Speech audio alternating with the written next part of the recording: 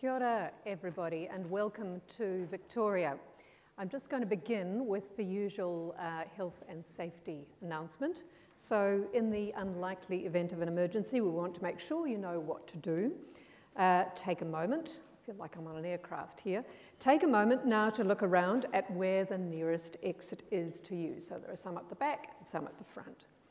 Um, if there's a fire, uh, if the fire alarm sounds continuously, please evacuate the building using the nearest exit. For an earthquake, act quickly. If you are able, please drop to the ground, get under cover, and hold until the shaking stops. If there's no cover, put your arms over your head and neck to protect them. After an earthquake, stay inside and gather in one place until it is safe to exit. If the building is unsafe, then evacuate. Take your belongings, beware of falling debris, and make your way to a large open space. Follow the guidance of your host. Um, so that is the, uh, the, the, safety briefing, and hopefully we will not have to uh, take action from it. We'll just begin um, with a very short video.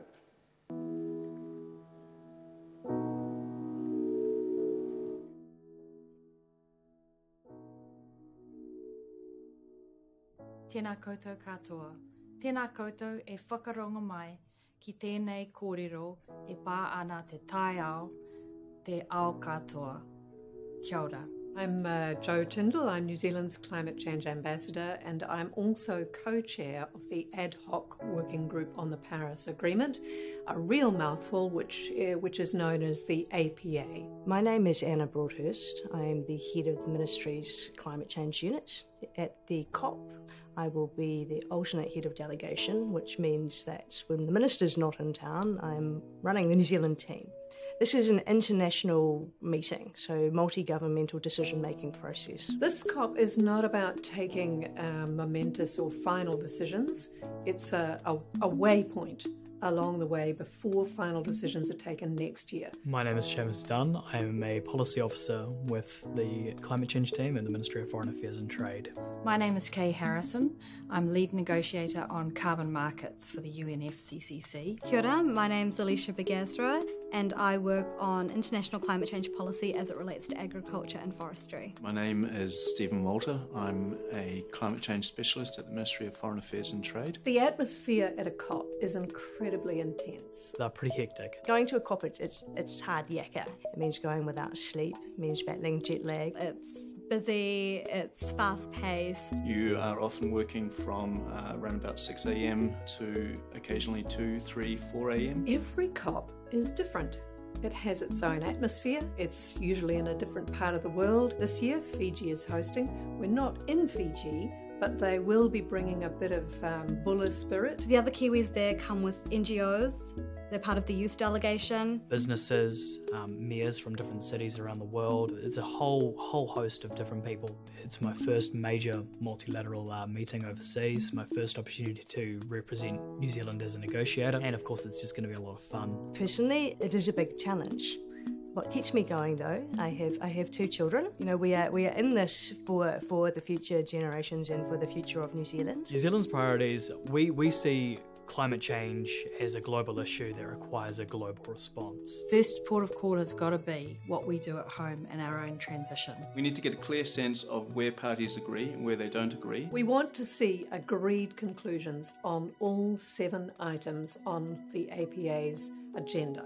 Amongst the guidelines we are developing, one of the, the, most important is about the transparency framework. And what that means is the way countries communicate to each other, how they are going implementing their commitments. We want to continue the progress of the negotiations themselves on the rulebook with a view towards completing it for 2018. It's crucially important to get the foundations right, to, to make sure that, that everything is on track uh, for uh, the right outcome next year. Well, that uh, just gave you a bit of a, an introduction to not all, but a number of the negotiators who will be at the Bonn uh, Climate Change Conference this year. Um, and a couple of them, uh, Steve Walter and Kay Harrison, will be joining me today in uh, delivering parts of this presentation. So as, uh, as usual, we'll begin with uh, um, a bit of an outline of the state of play of the climate change negotiations, the upcoming conference in, in Bonn in a couple of weeks' time, a week and a half's time, uh, and uh, the hot points, the priorities that we expect, what our expectations generally are for the outcome of the, the COP this year. Um, uh, I have to, of course, acknowledge that since we emailed the invitations for this event, um, there have been, of course, quite significant political developments and uh, a new government has been formed. Um, I know uh, that uh, probably everyone in the audience is, is very interested in, in what this means, but I do have to start um, by saying that it is too early uh, to know or to have clarity in any detail um, on the uh, impact of this uh, change of government on New Zealand's uh, no negotiating positions. The guidance we have at this stage um, is pretty much what uh, everybody has through uh, the coalition um, agreements, the arrangements um, between the support parties, and speeches that the, the Prime Minister, um, very shortly to be formally Prime Minister and Minister for Climate Change, have given.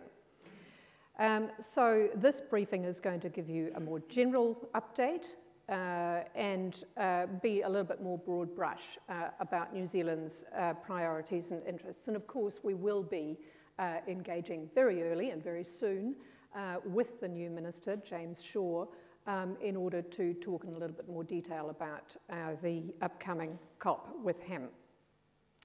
So um, this is, uh, of course, a briefing uh, in advance of the annual Ministerial Climate Change meeting, and it's the second uh, such meeting since the historic Paris Agreement was adopted back in 2015. Um, the, there was a real head of political steam, as we know, that got the world to Paris, um, together with a very innovative approach to uh, setting a, um, a global agreement. The foundation for that agreement was, of course, um, a principle of national determination, a kind of bottom up process of, of uh, governments uh, determining what they could do according to their circumstances, but with the, the global agreement setting some very clear expectations around um, ideas of progression, uh, no black backsliding, continuous improvement. The Paris Agreement broke a number of records. Um, the UN Secretary General hosted uh, a big day in April 2016 to open the agreement for signature, and 175 um, uh, ministers turned up to sign on the day, um, which was uh, um, a record. and that was 175 out of uh, the 197 UNFCCC uh, parties. Uh, New Zealand, of course, uh, joined, was one of the, the 175.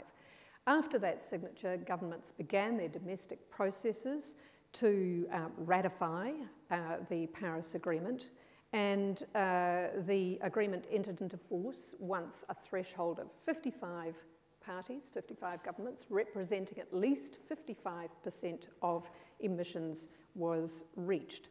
Well, that broke another record everybody had kind of expected that it would take the normal three, four years, three years or so, uh, for the agreement to, to actually enter into force. But uh, the date uh, was, uh, in the end, the 4th of November 2016. Um, fairly uh, interesting date given what happened four days later uh, with the US election. Um, the US, under the uh, Obama administration, had really given a hugely strong political push to get the Paris Agreement across the line. Um, of course, uh, right in the middle of the COP uh, in Marrakesh last year, that election um, in the US cast doubts, given uh, President Trump's campaign promises to, quote, cancel the Paris Agreement, unquote.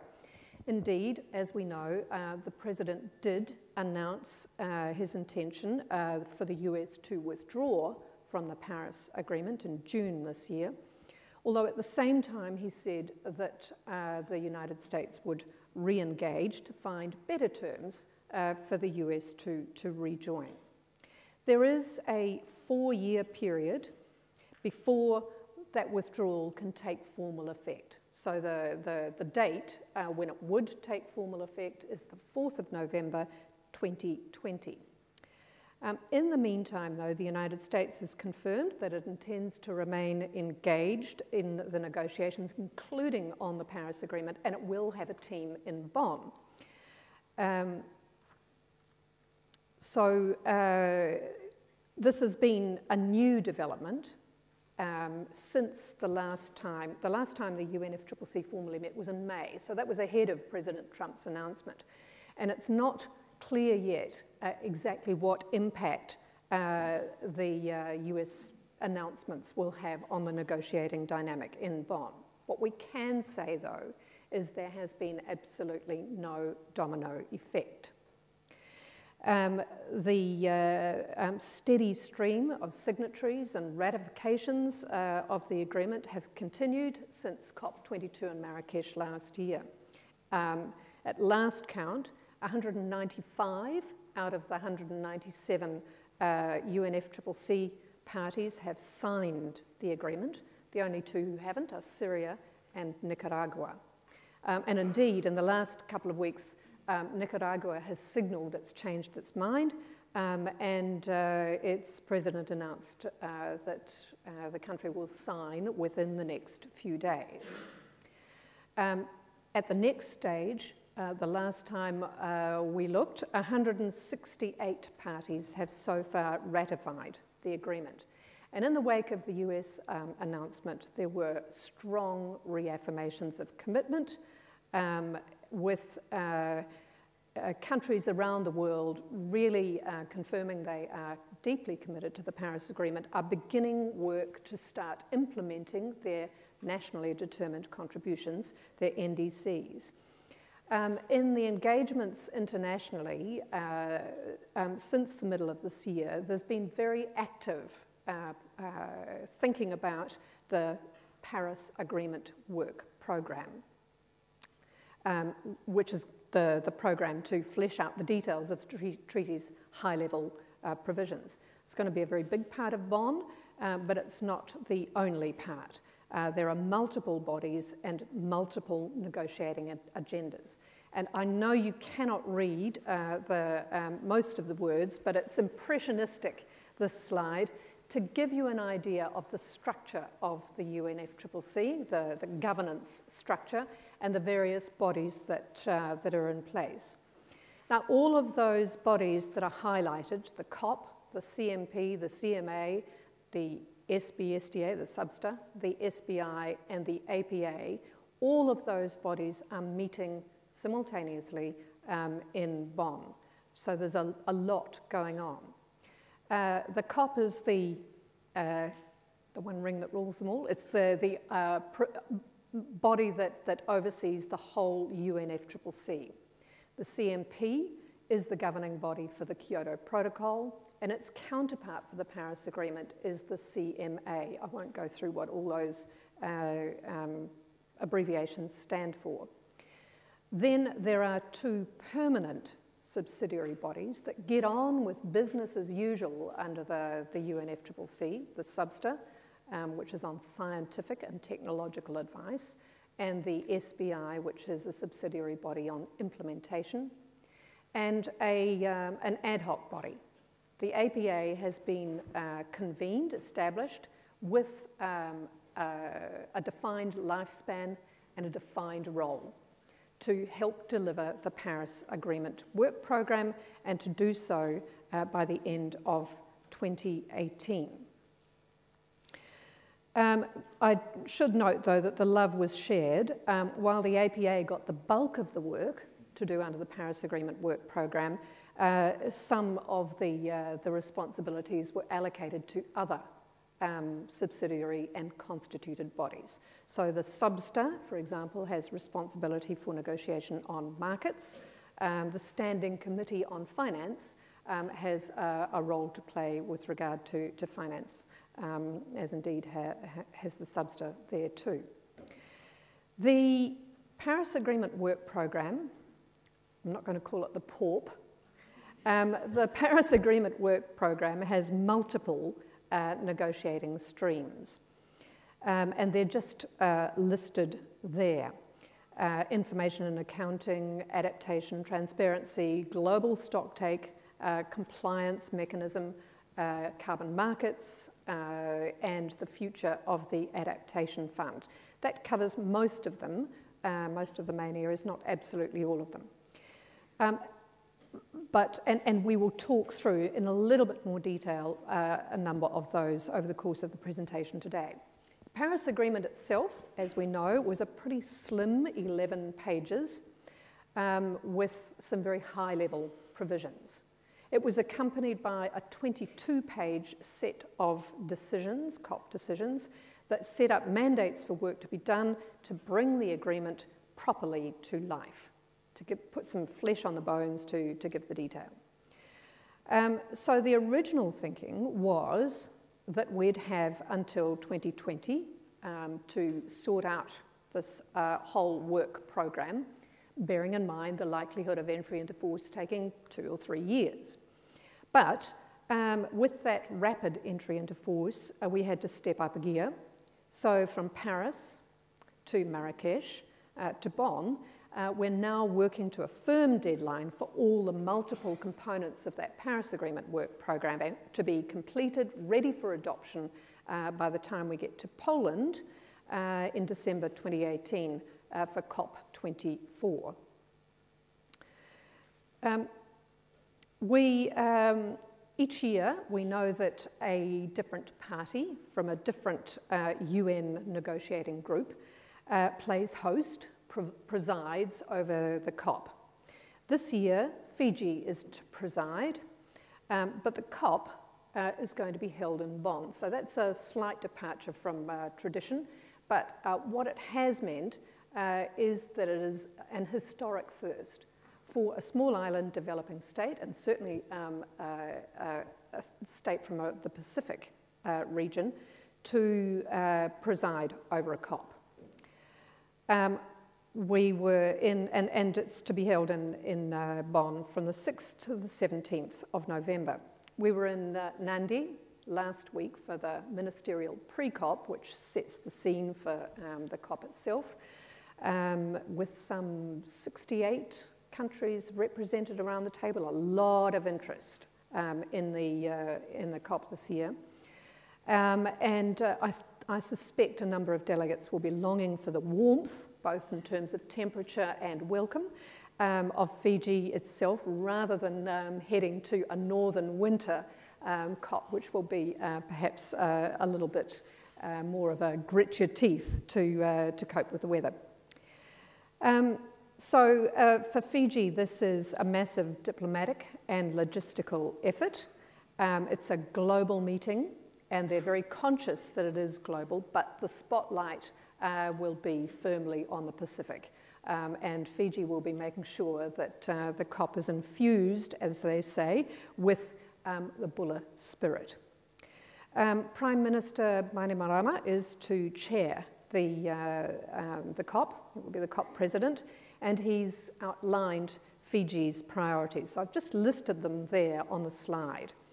Um, definitely want to see good progress being made on the Paris Agreement work program so it can be very clearly on track for conclusion uh, in Poland next year. Um, the uh, Paris Agreement set up what was called a facilitative dialogue, um, not a particularly helpful name. Fiji at the pre-COP successfully rebranded this the Talanoa Dialogue. Um, so, wanting to reinforce how they wish to conduct this di- dialogue next year, which will take place, will culminate um, at the COP in Poland, uh, and is all about um, assessing collective progress towards the uh, agreement's long term temperature goals. So, the Talanoa dialogue, um, the design of that, um, needs to be confirmed uh, by Fiji and Morocco as the COP presidencies at COP23 this year. Fiji has also been talking about um, uh, bringing together a grand coalition uh, of governments, uh, non-state actors, cities, businesses, etc., etc. Uh, and to do that, uh, they will be putting a great deal of emphasis on the climate action uh, agenda. Um, the other uh, things that are listed there, um, Fiji wants to build uh, a legacy through a better aligned focus on oceans, uh, and not oceans generally, but the, the, the, nexus between oceans and climate change, which obviously around the Pacific um, is uh, an issue of particular interest and covers quite a range of, of um, sub-issues from ocean acidification uh, through to rising sea levels, etc., um, etc. Et they also look at, uh, want to look at ways to enhance disaster risk insurance. Um, and uh, as part of the agenda from Paris, uh, to uh, confirm uh, and um, set up the Indigenous Peoples Platform, uh, that is about trying to uh, find better ways for engagement of Indigenous peoples um, and recognition of the importance of traditional knowledge in uh, climate change negotiations. Um, and finally, uh, mentioned there, they wish to uh, confirm and launch the Gender Action Plan, recognising that women are most often uh, more directly and negatively impacted by climate change, and also looking at ways of encouraging uh, more women in leadership roles um, within uh, and around the UNFCCC.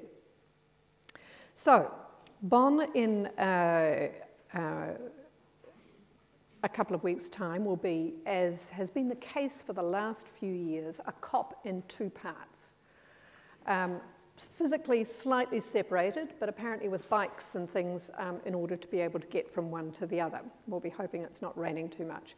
Um, the Paris Agreement and those um, ongoing negotiations under the various subsidiary bodies and the, and the COP itself will take place in um, what has been termed the Bula Zone.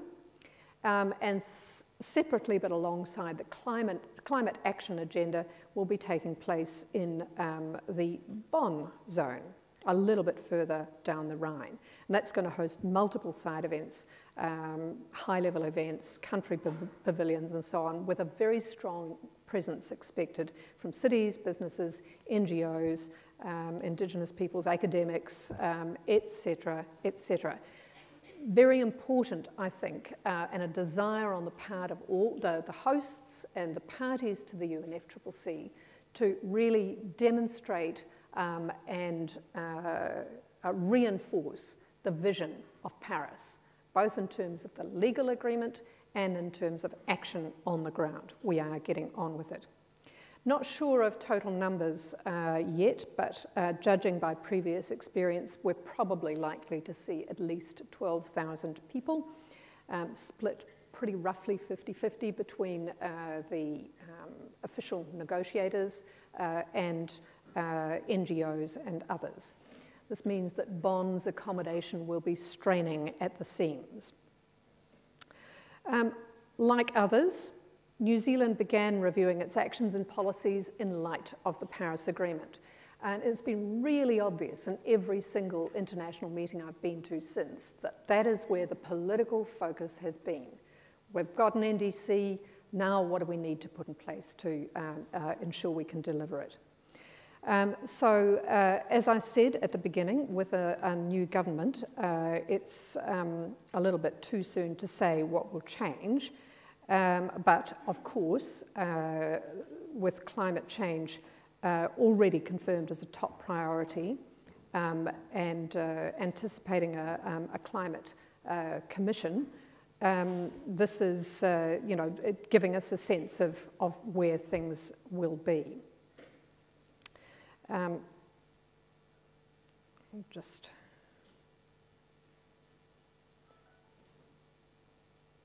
just uh, um, to indicate that uh, our focus is driven by two things. So first of all, um, it's driven uh, to some extent by our emissions profile. Which um, I know I've been saying for, for a number of years, is, uh, is I hope, ingrained in, in uh, everyone's minds, dominated by agriculture. And here you can see it's pretty well 50 50 um, between methane and, and nitrous oxide. Uh, and uh, with forestry playing a very significant role. Uh, and uh, by the looks of things, looking at, at policy statements from the new government, um, playing an even bigger role uh, in the future. And the third um, component there that, that is really important um, is carbon markets, um, which certainly in the um, short term help us to enhance the uh, ambition um, of the, the targets we take. And, and Kay will uh, talk a little bit more about that aspect of the negotiations very shortly. The second thing that determines our focus is um, the desire and need to see good progress on the Paris Agreement work program. Um, we uh, are a country that, that relies pretty heavily on the international rule of law, and the whole point of um, having an international treaty is to balance off what individual governments might be doing, uh, promising to do, um, by um, setting some collective parameters um, so that we uh, understand the rules of the game, if you like.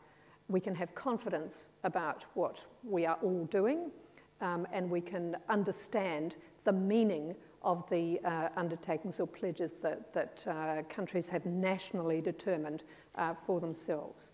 So within that Paris Agreement work program, um, uh, particularly highlighting the need for uh, clear and workable and robust, credible um, rules around transparency, accounting, um, and a, a, properly functioning uh, committee to facilitate implementation and promote compliance. Steve is going to talk a little bit further about those. So uh, just to, to recap here too, New Zealand's targets are um, uh, set out. So uh, first target was under the Kyoto Protocol that ran from 2008 to 2012. We then took a target under the convention, which is our current target through to 2020 of reducing our emissions to 5% below uh, 1990 levels. Is that telling me something? um, the Paris target um, is the next one. Uh, our NDC committed us uh, to reducing our emissions to 30% below 19, uh, 2005 levels by 2030. And the third one there, um, at the moment, um, is uh, a gazetted uh, target to reduce our emissions 50% below uh, 1990 levels by 2050. Um, however, you will have seen uh, that the new government has uh, indicated uh, quite clearly that there is an intention to get to net zero emissions by, by 2050. So that's just a, a current snapshot um, of where we are. Um, here I'm going to stop uh, and pass over to, uh, to Kay to talk a little bit further about those carbon markets issues.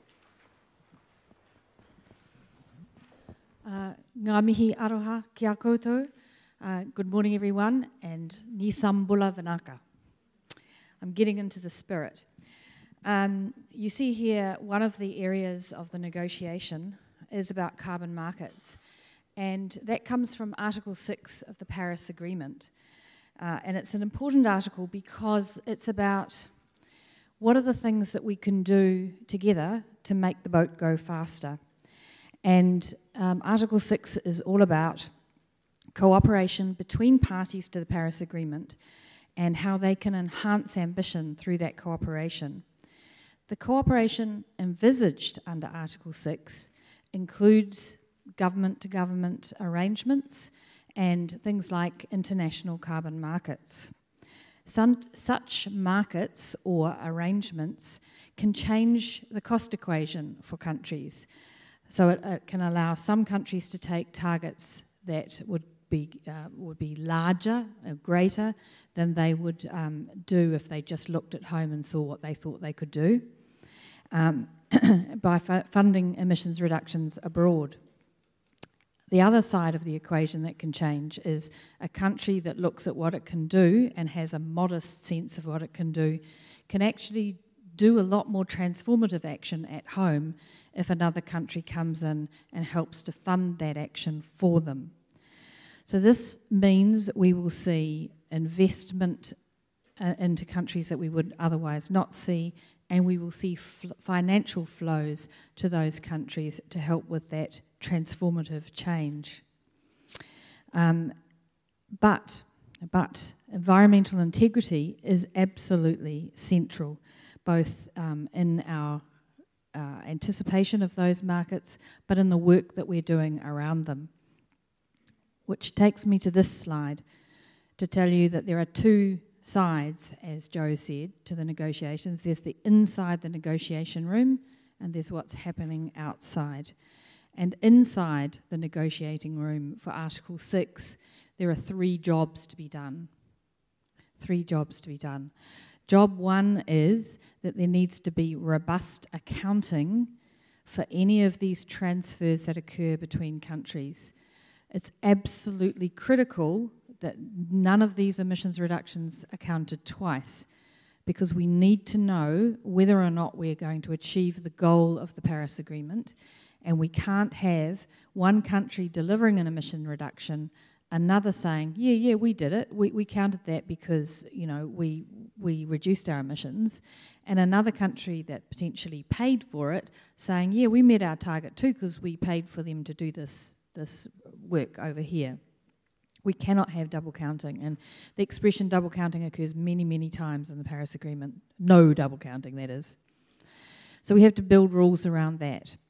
We also have the central mechanism that's, that's um, designed to actually issue units uh, for projects or programs, and all of the rules of that have to be designed, including who's the supervising body, who's on it, and what kinds of things might be allowed to generate units. And lastly, there's a, there's a piece in Article 6 which is what are the things we can do together cooperating that make the boat go faster that aren't about markets? And there, the Paris Agreement established a framework and instructed us to conduct a work program. And so we need to focus on that as well. But just as importantly, and perhaps even more importantly, outside the negotiation, there are many, many people who are talking about how do we make this happen? How do we actually um, focus on what real environmental integrity in markets carbon markets looks like. And very few people have actually put pen to paper on that. Um, but New Zealand, working with 18 other countries, has started to write what does this actually look like? What, might, what are the principles that underpin this? And so there'll be some side events that explore that very important issue. And there'll be other side events that say, so how are we going to get this cooperation going? Who's going to work with whom? Um, and that's an area we've been interested in too in the Asia Pacific region, where countries have got together and said, can we cooperate together? What could we do more if we work together? So, those are the two areas of focus um, in carbon markets at the COP. And I'm now going to hand over to Stephen.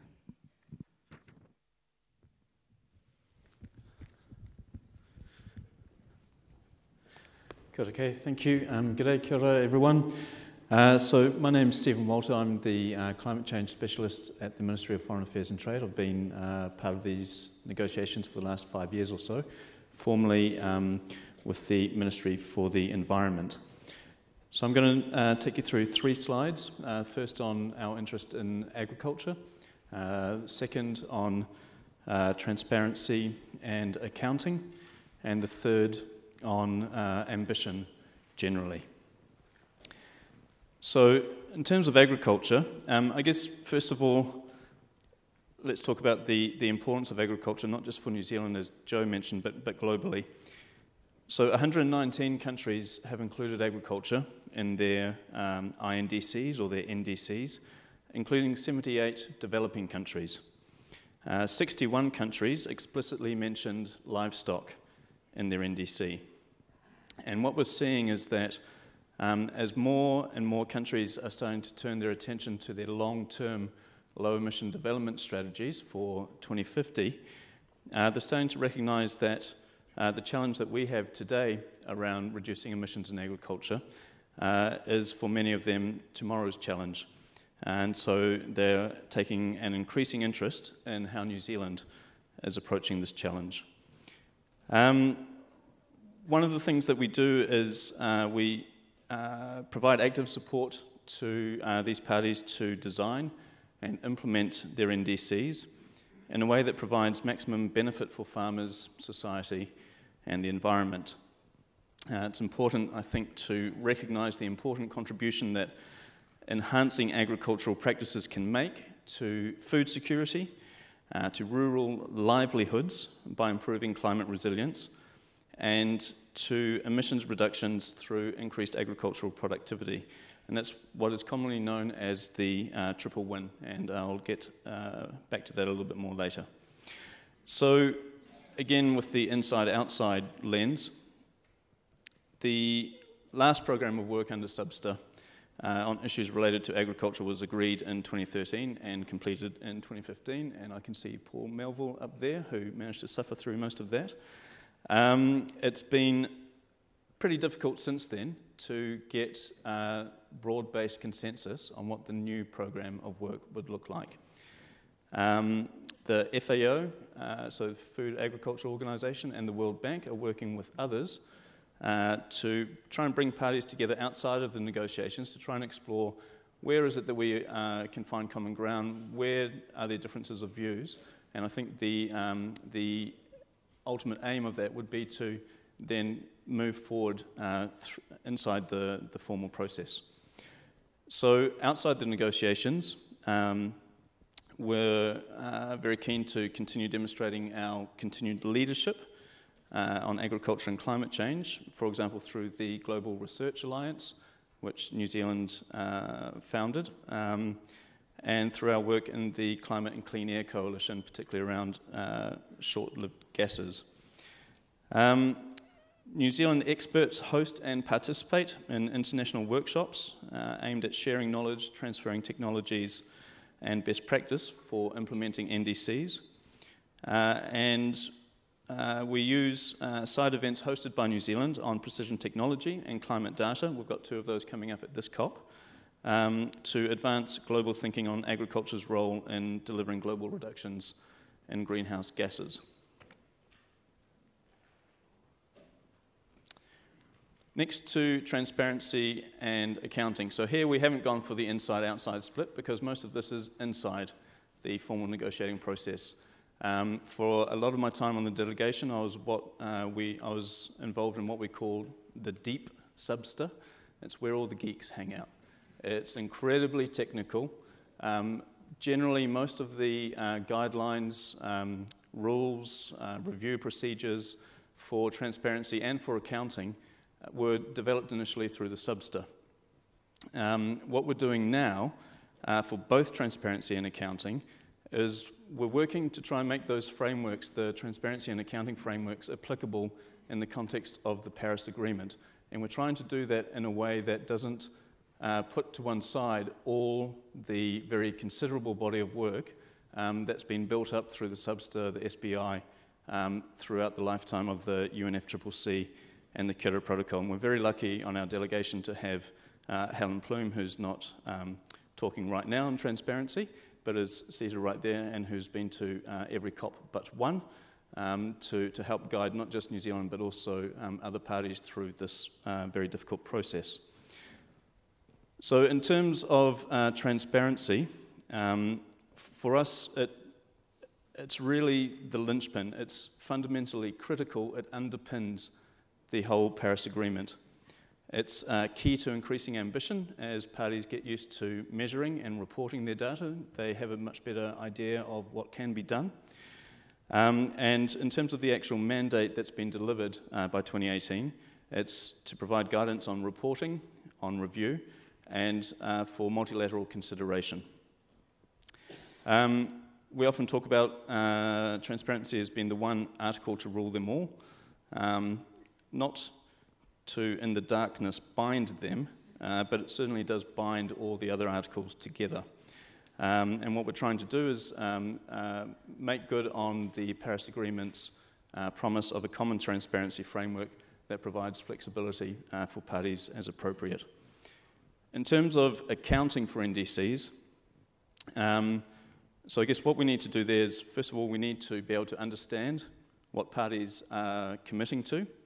Uh, we need to see how they are tracking towards that target. Um, and because of that, uh, the guidance will need to uh, accommodate, um, oh, sorry, just quickly there, uh, the, the mandate that we're delivering is guidance on features, on information and accounting.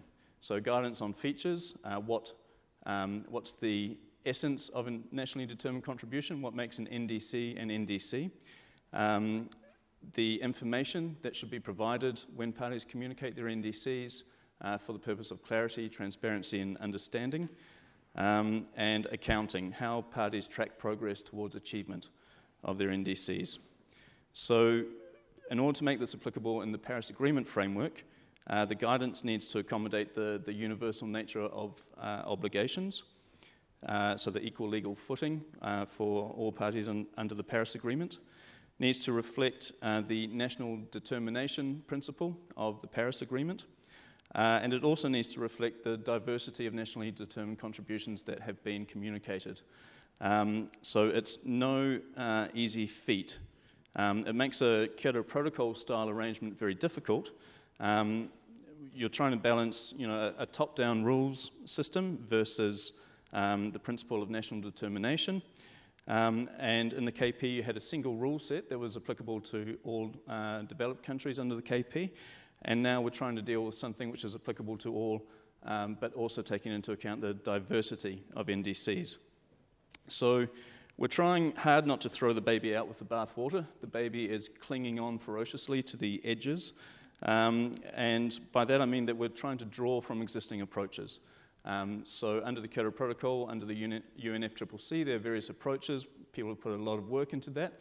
Parties can draw from those approaches, uh, but there will be some parties whose NDCs uh, would not really accommodate some of these approaches. So we also need to be a bit flexible and think about how those parties can demonstrate achievement of their NDCs. Uh, one potential landing zone uh, that's been discussed is what's called a, a principles-based approach. So uh, parties need to explain what they're going to be doing. They need to explain how uh, this approach is consistent with environmental integrity, with the avoidance of double counting, and with the TAC principles transparency, accuracy, completeness, uh, consistency, and comparability. Um, and they need to explain how this approach is appropriate for their NDC and their national circumstances. That's uh, one possible landing zone uh, and we're trying to um, work through over the course of this meeting and next year uh, to establish what the final landing zone will be. Next on ambition. Um, so as Joe mentioned, I'm exceedingly grateful to Fiji for having renamed the 2018 facilitative dialogue the Talanoa dialogue, which does trip off the tongue a little more. Um, and the, the dialogue there, uh, so means that it, it's going to be inclusive, participatory, and transparent, uh, with a focus on building empathy and leading to decision making for the collective good. Um, just generally on ambition, we all realized that the INDCs and the NDCs that were put up uh, in the lead up to Paris are not going to get us there.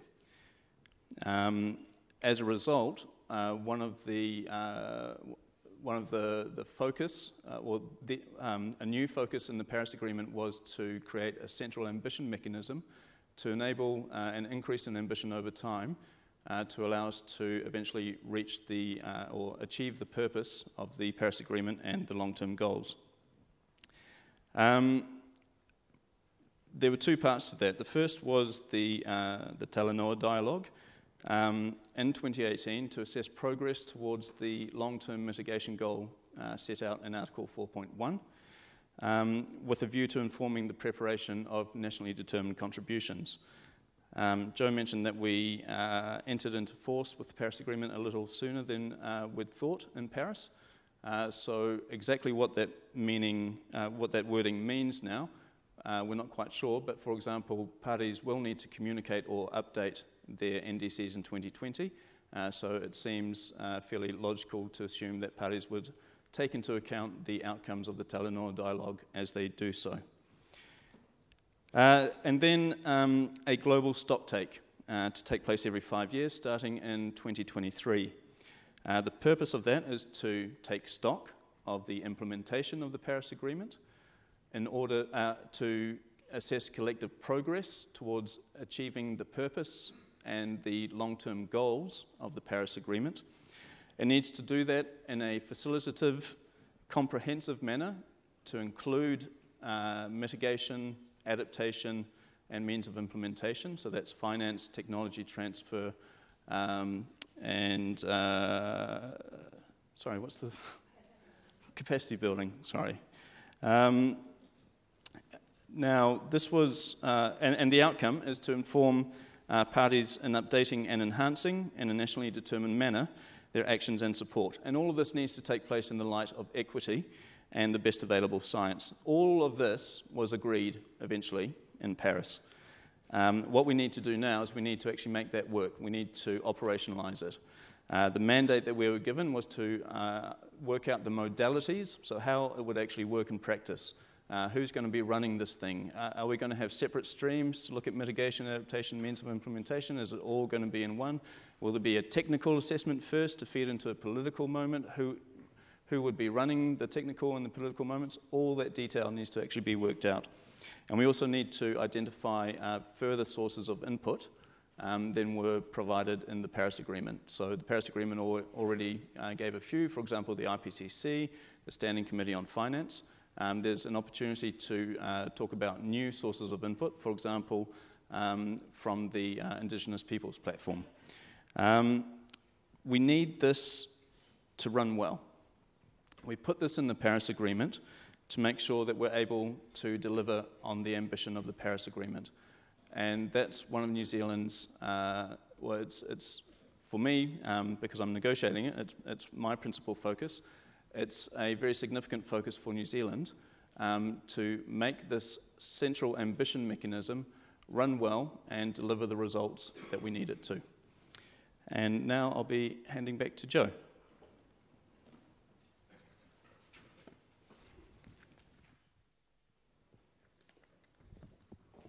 Thanks very much, Steve. Um, in uh, talking about the Talanoa dialogue, uh, the Fiji uh, ambassador, Ambassador Khan, uh, who is the, uh, the chief negotiator for Fiji, um, has very uh, um, aptly said it is driven by three questions, and this will apply to the global stocktake as well. The three questions are where are we now? Where do we want to be? And how will we get there?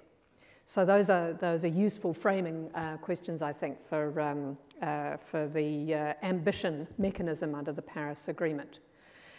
Now, of course, um, we probably we haven't got time to go through all the issues on the, uh, the sprawling UNFCCC agenda, but there are other key, key issues in the negotiations. Um, and always uh, top of the list is, is climate finance.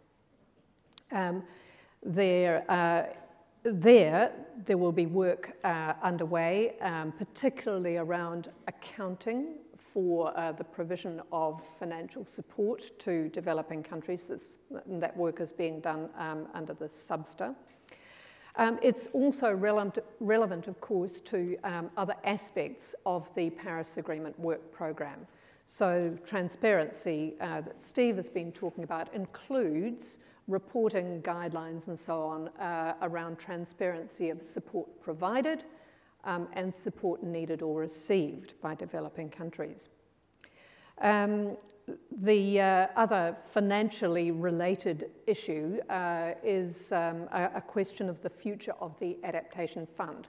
The Adaptation Fund being set up, um, it's, it's, under the, the uh, Kyoto Protocol, and the question being um, whether and how um, to uh, give a future for the Adaptation Fund serving the Paris Agreement. Um, so there's some legal complications around that, but uh, the Adaptation Fund is seen as a hugely important source of finance for adaptation projects by uh, developing countries. They see it as smaller and more nimble uh, than the, uh, the, the, Green Climate Fund um, and uh, um, a, a, really important part of the, the climate finance landscape. So that question will be again uh, addressed in, in Bonn. Um, the uh, roadmap um, to $100 billion reference there um, is again uh, um, a reference to developing countries, and in fact all countries, um, very, very strong interest in ensuring uh, that the undertaking to mobilize 100 um, billion US dollars per annum collectively by 2020 uh, that uh, this mobilised money to come from a combination of public and private sources uh, to support developing countries to mitigate and adapt to the impacts of climate change. So um, questions will, uh, as they are every year, be raised about how we are tracking collectively towards that $100 billion uh, goal. Um, and uh, the, uh, there will be um, a strong push uh, for um, evidence of pre-2020 action. Um, and this comes to, uh, down to a lot of um, pressure, I guess, on, on developed countries. Um, and the two aspects of pre-2020 action that are constantly identified are, first of all, ratification of the Doha Amendment to the Kyoto Protocol, which put in place the second Kyoto commitment period. Um, and just to, to record that New Zealand um, has ratified that, uh, that amendment. Um, and uh, the other component is delivery um, on the undertaking to uh, provide 100 or mobilise $100 billion per annum uh, by 2020. Last year, um, developed countries uh, worked together to prepare a document that was called a roadmap to $100 billion um, that uh, made projections to 2020 and on the basis of current pledges uh, calculated that uh, there would be at least, um, and this was pretty conservative, um, 92 point something or other, 93 billion uh, US dollars uh, mobilized by 2020 um, from a variety of, of um, uh, public and, and private sources. There's no um, intention to update that roadmap this year, but uh, there'll be another update provided in 2018. The, um, the Global Climate Fund uh, has got off to um, a good, strong start, um, and we've been really pleased to see that uh, there have been a number of projects approved um, around the Pacific. However, on the part of developing countries, and particularly um, uh, Pacific neighbours, there have been some concerns about the ease of access to finance through the Green Climate Fund and the speed with which uh, funds um, have started to be able to flow. Um, so through the GCF, um, our, um, our, constituency sit on the, the board of the GCF, but also through the UNFCCC, we're working uh, to try and, and ease that situation. Um, delivering on the uh, current pledge of providing $200 million in climate related support uh, through to 2019, with the bulk of that focused on the Pacific and delivering a combination of clean energy, um, and resilience projects uh, um, around the Pacific. Um, and setting up a um, TAPA project, which is technical access, technical assistance for Pacific access uh, to help uh, the uh, Pacific countries be able to gain access to um, Green Climate Fund uh, uh, support. And that has already proven to be very successful. Um, the, there have been concerns expressed um, uh, along with the announcement of the intention to withdraw from the Paris Agreement. President Trump um, indicated that uh, the outstanding amount of the US pledge of $3 billion to uh, the Green Climate Fund would not be paid in. So some concerns expressed on the part of developing countries um, about the implications of that for uh, the, the provision of climate finance. Um, however, it is uh, also um, uh, worth, you know, do need to, to reinforce that the Green Climate Fund still has um, plenty um, of um, funding left to disperse, um, and that uh, at a certain point, uh, a replenishment will be triggered uh, and further funds will, will flow into the, the GCF. Um, a comment briefly uh, or quickly on adaptation, where uh, the, uh, uh, a big part of the Paris Agreement, of course, uh, has been to elevate adaptation uh, and the importance of adaptation to the impact of climate change, sitting alongside the urgent need to mitigate and reduce um, emissions and a desire there um, on the part of developing countries to um, see the balance of public funding uh, provided for, for climate change to go pretty well 50-50 between mitigation and adaptation. So there's a, a lot of work um, uh, being done around that, and certainly the, the Green Climate Fund has committed to um, aim for that 50-50 split. Um, for loss and damage, uh, there um, will be uh, a focus on the work of the Warsaw International Mechanism uh, for Loss and Damage, um, but uh, um, strong interest on the part of a number of developing countries to um, raise the profile of loss and damage in the context um, of the Paris Agreement and to do that in, in, in different ways. Um, but uh, it will be important, and Fiji wants to see the um, uh, the Warsaw International Mechanism uh, make good progress, um, particularly in the two new areas of its work uh, dealing with risk transfer and um, displacement of, of people due to, to climate change. The last thing I've mentioned there is the Forum on the Impact of the Implementation of Response Measures, shortened to response measures. Um, that's um, been an interesting discussion uh, that has um, developed a little bit over the years and uh, is developing um, in uh, a different way from where it first started. It is now starting to look at the long-term implications of, of climate change and thinking about um, what it means for economic diversification, um, particularly for oil producing uh, countries, but not solely for them, um, economic diversification more, more generally, um, and also uh, as a place for discussing the just transition, um, which had made its way into the, the preamble of the, uh, the Paris Agreement and is uh, an important um, uh, aspect of the, uh, of the, the, the long-term transition to a low-carbon economy. Um, just uh, talked about the action agenda, um, and here I just wanted to quickly note those three main themes. There is a huge program of side events and exhibits as part of the, uh, the climate action agenda. And the three main themes noted there are about enhancing ambition, promoting implementation, and providing support. Um, Steve alluded to um, the uh, event, special event we are hosting on precision agriculture technology. Um, and just wanted to very quickly uh, indicate what that's about. So um, the, the, event we are, are hosting and organising uh, is entitled Precision Technology for Agriculture Development, um, realising that triple win uh, that uh, Steve was talking about, reducing emissions, building resilience and improving farmer livelihoods. It fits with that, uh, those three uh, action agenda themes, and we want to showcase how precision agriculture can help all farmers, whatever scale they are operating on, whatever form of technology that they are using, from the most simple um, mobile telephone uh, through to driverless tractors um, or whatever it might be.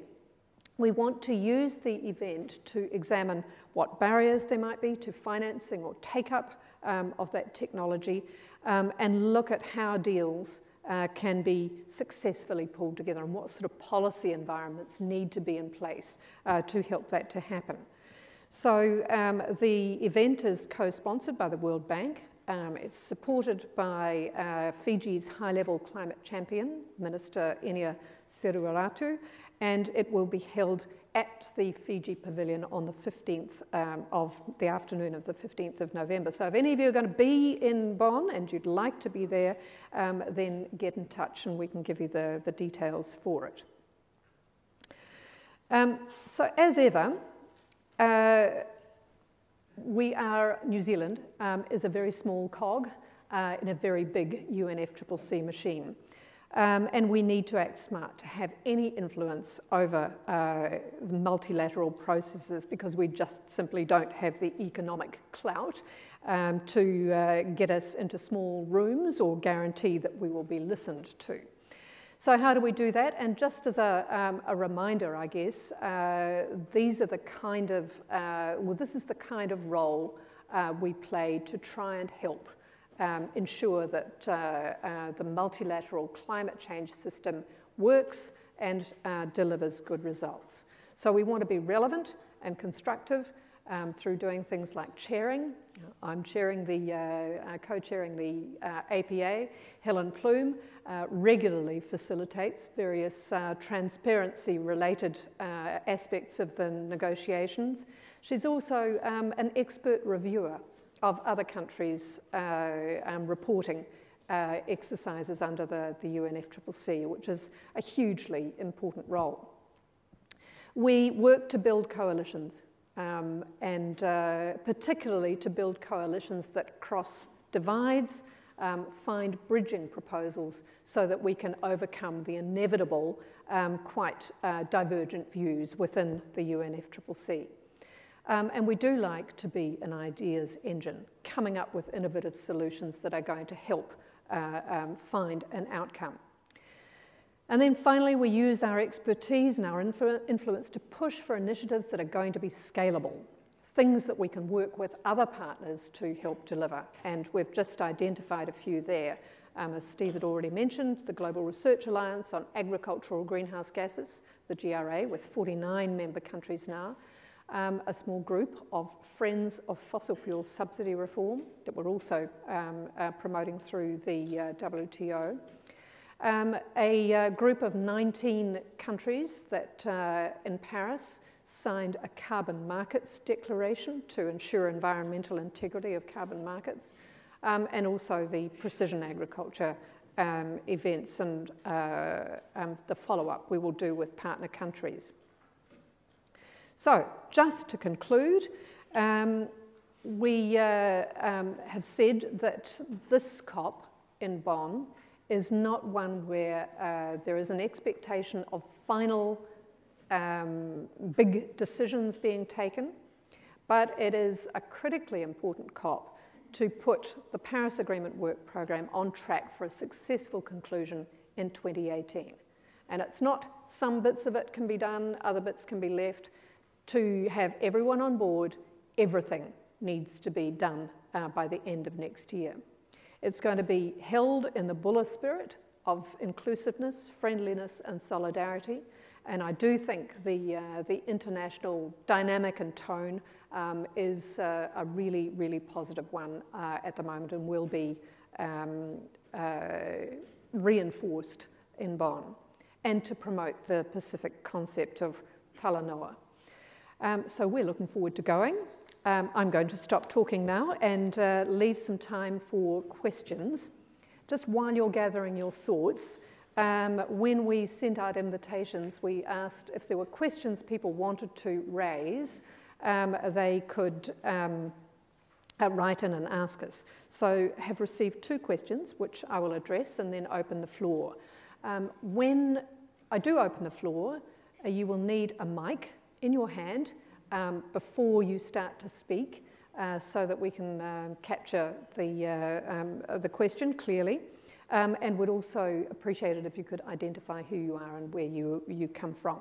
So the two questions. First, from uh, World Vision, Karsten Bockermühl, and I apologise to Karsten if I have not pronounced his surname correctly.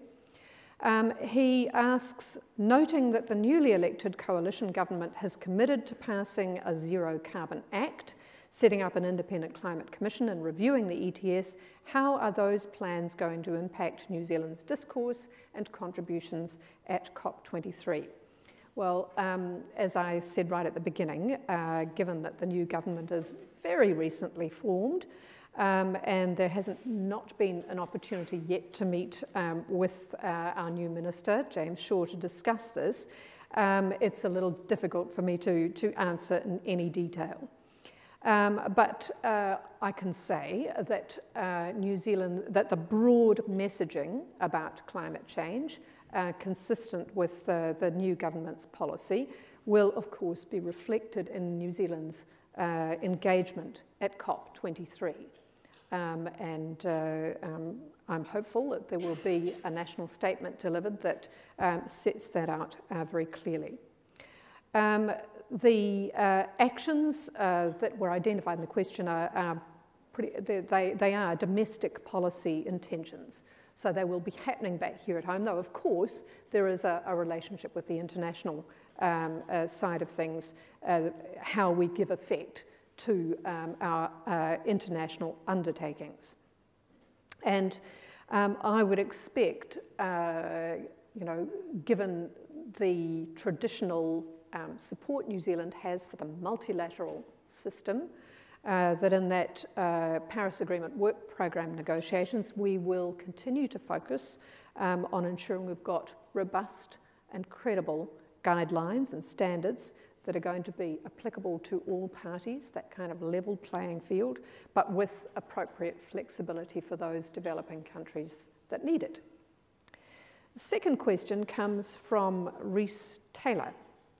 Um, and he asks Has the time arrived for a greater public or community education effort in New Zealand on both climate change impact, uh, adaptation, and actions to reduce uh, carbon emissions from homes and businesses?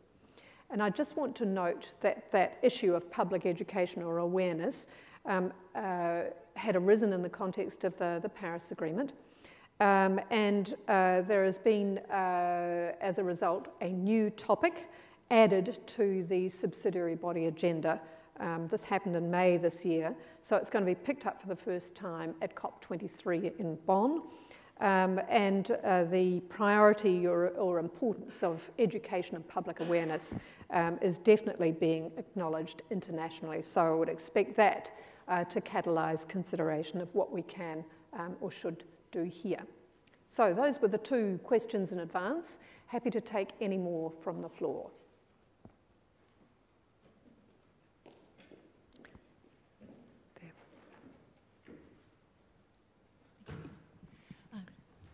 Kia ora. Liz Springford from New Zealand uh, Climate and Health Council, or. Um, two quick questions, thanks, Joe. How will today's Royal Society report on the climate impacts on human health, that basically climate change is fundamentally about human health impacts, influence New Zealand's negotiations? And the other question is given the immediate health gains from well designed um, climate action, will health now be represented in the delegations? Thanks. Thanks for, for those questions. So, so uh, yes, aware of the uh, Royal Society report, which was um, particularly focused, again, quite a domestic focus, looking um, at uh, adaptation considerations uh, and uh, the impact of, of climate change here, including, uh, of course, on, on public health. Um, so this is not going to be immediately or directly relevant to the, the negotiations themselves, which uh, you know, are around putting, as I said, flesh on the bones of the, the Paris Agreement. Um, it is around what we do domestically, how we respond, um, but what we will see and have seen out of the Paris Agreement um, is an expectation of um, enhanced reporting um, on adaptation plans and priorities um, and uh, uh, actions that have been taken, um, and including perhaps uh, some monitoring and evaluation. Um, so there, there's a step up in the expectations around um, reporting into the UNFCCC on that. Uh, and um, uh, guidance being drawn up to, to help. Um, Helen, I don't know if you wanted to if you wanted to add anything on that. Um, that I think is is where we will see. You know, it's as Steve mentioned. Once you start measuring things and monitoring, it gives you a much better basis for thinking about um, what action you can and should be, be taking. Um, we, we don't have um, health directly, the Ministry of Health, directly on the delegation, um, probably um, because climate change impacts on every sector, we could potentially have representation from um, a, a, huge number of government departments there. But what we do do um, is ensure that back home uh, we uh, have a good interagency process um, that uh, um, looks across uh, the different parts or different sectors um, and, and, tries to get as aligned and coordinated a, a, an approach as possible. Next. Yeah. Thank you very much, Joe, and all of you from MFAT. Um, Beth Ann Martin from Response Trust. Uh, Joe, just a little more on the education.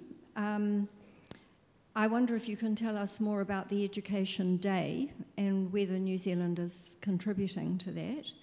And also whether you see, I know it's very early days, but whether you see much or scope for much more education policy development in New Zealand on climate education, because at the moment we have very little other than, uh, well, it's very active in NGOs, but in the formal sector we don't. And also, perhaps a, a bit more about who is represented on the New Zealand delegation. You know, what, what sectors are, are represented. Thank you. Okay, thanks for, for that question. As far as the Education Day is concerned, um, uh, if you mean a financial contribution, um, no. Um, there are quite a number of theme days as part of the climate action agenda.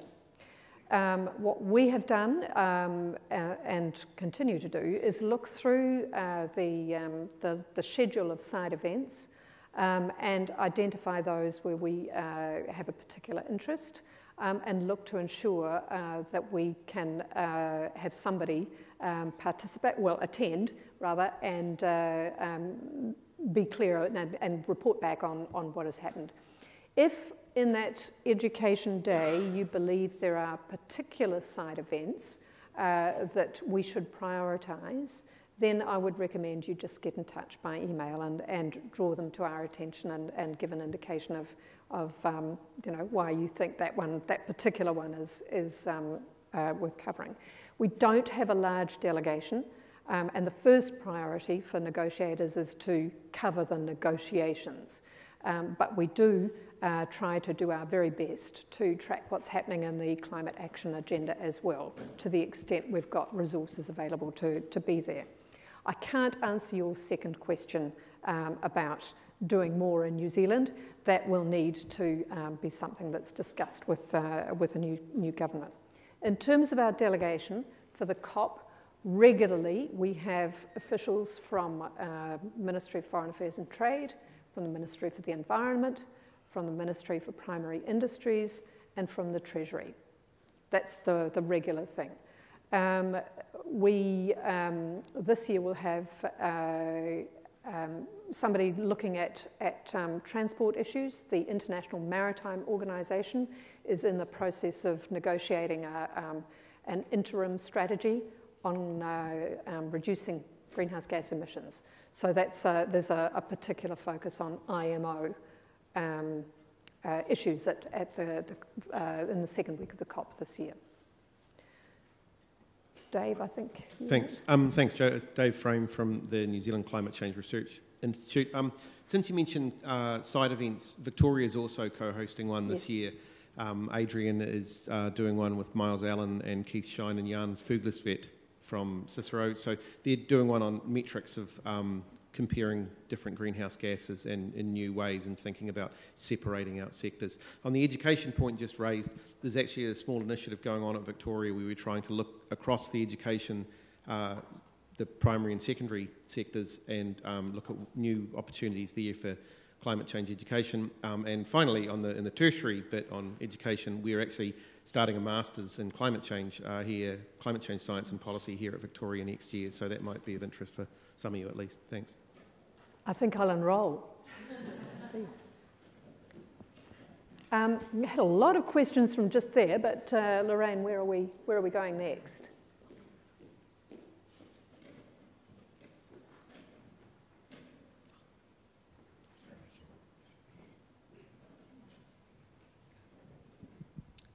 Uh, kia ora to everybody, Liam Rutherford, uh, NZEI. Thank you, uh, Joe, and the other people that have presented today. Um, it's been great to see it uh, being presented in such an easy to digest way. Um, are you able to make comment on progress towards uh, just transition for uh, workforces that are increasingly affected by climate change? Um, the only, I can't make much more comment than I made in the, the presentation itself um, which is that uh, under the work of the uh, Forum uh, on Response Measures, I'm using the, uh, the um, shortened title, um, that uh, is uh, a forum in which the question of a just transition is starting to be raised as, as a potentially useful aspect of the work of the, the Response Measures Forum. Um, and it's an area we would see as, as being very fruitful for discussion within, the, uh, within that context. So we'll hope that uh, it will make. There's um, uh, a full, at least one full day workshop on response measures in advance of the, uh, um, uh, the COP official opening. Um, so that'll be a, a, an opportunity for the beginnings of an informal discussion before the, uh, the COP itself starts. Kia ora, my name is Kapua Smith and I have two questions for you. Um, the first one is around uh, Indigenous participation. Is there going to be a delegation of tangata whenua going to COP23 this year and has the government supported an Indigenous delegation to go, go across?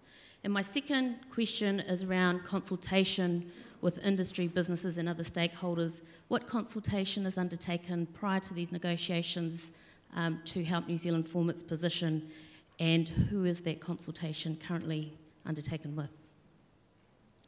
So, on the, the first question, um, there are iwi representatives frequently on the New Zealand delegation. Not this year. This is not because it was a, um, a decision not to have them, it was their decision not to um, uh, prioritise being at the COP this year. Uh, I'm sure there will be iwi representatives on the, the, delegation next year when we are expecting those, um, those final decisions to, to be made. I mentioned the Indigenous Peoples Platform, um, so we will be uh, engaging directly in that.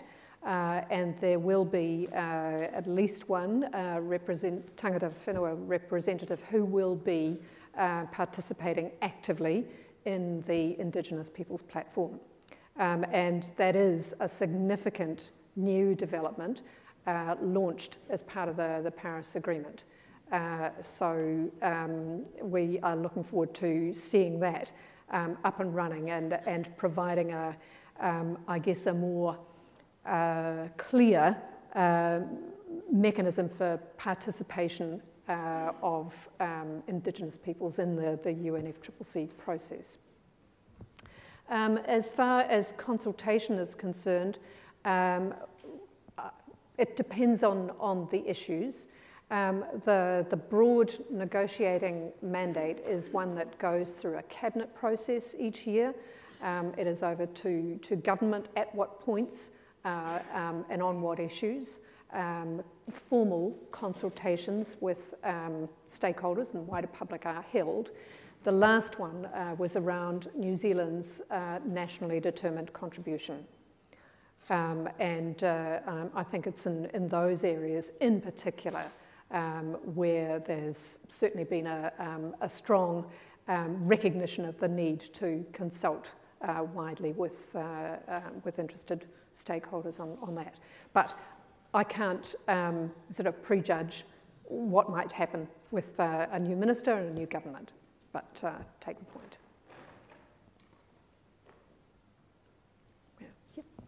Uh, you've mentioned the importance of measurement and monitoring.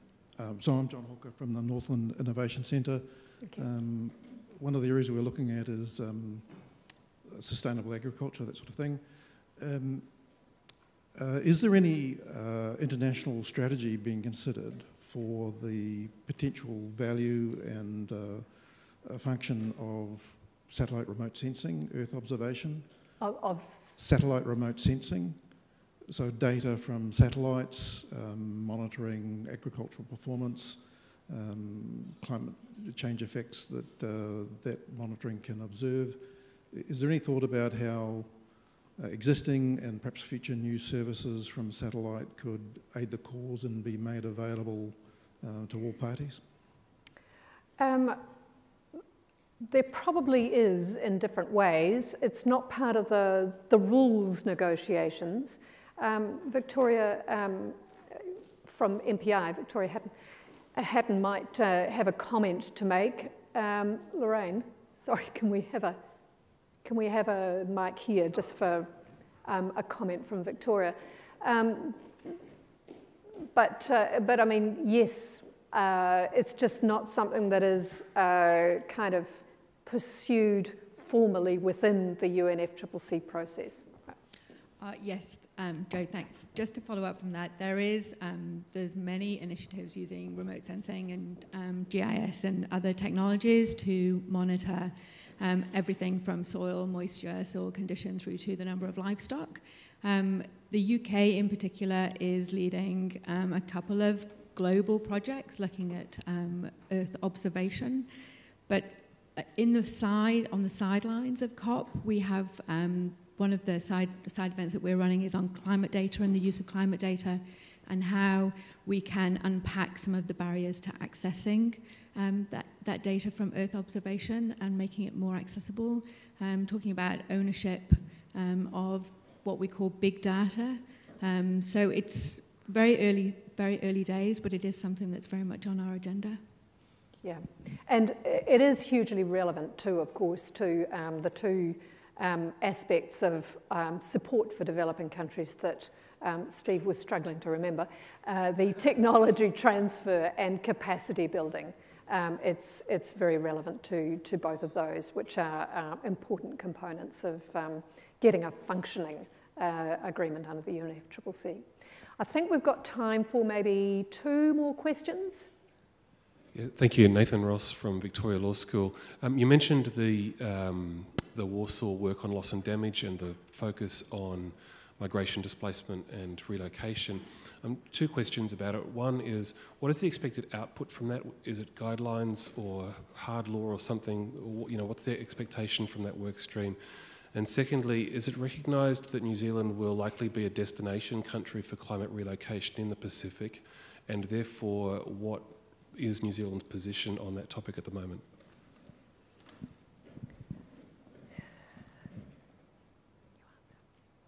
For the, the first question on the output from the Warsaw International Mechanism work, I'm not sure if I've got a member of the delegation here who's able to answer that in uh, detail. Seamus, front seat.